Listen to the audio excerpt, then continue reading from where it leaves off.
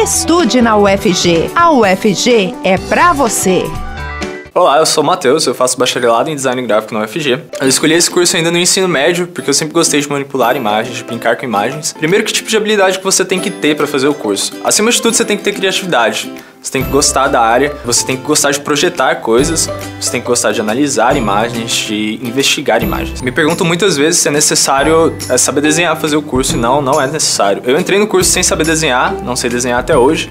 É claro que se você souber, isso vai te auxiliar muito, mas não é um ponto-chave. O curso ele é voltado para o mercado de trabalho, então durante todo o período você vai desenvolver práticas que vão te auxiliar na atuação do designer gráfico. O curso também é voltado para os tecnologias, mas sem que isso te deixe preso a elas. É, você também tem que saber é, resolver seus problemas, resolver os problemas visuais de forma manual.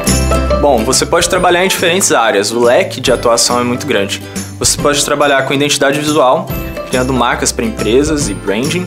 É, você pode trabalhar com editorial, fazendo editoração de revistas, de histórias em quadrinhos, de jornais e materiais impressos. É, você pode trabalhar com animação, você pode trabalhar na TV, você pode trabalhar com cinema.